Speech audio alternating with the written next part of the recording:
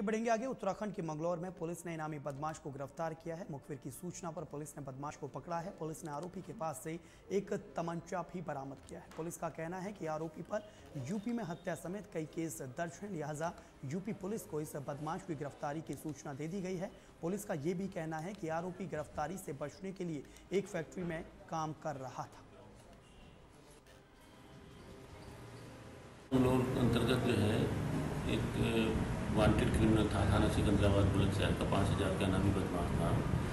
यहाँ पर ठसका गाँव में रह रहा था कृष्णपाल नाम है इसका। इसको कल जो है तमंचे के साथ थाना मंगलौर पुलिस द्वारा गिरफ़्तार किया गया है। ये क्रिमिनल, काफ़ी इसकी क्रिमिनल हिस्ट्री है। हमने बुलंदशहर और मुजफ्फरनगर वगैरह में इसकी जो है संबंधित थानों को सूचना दी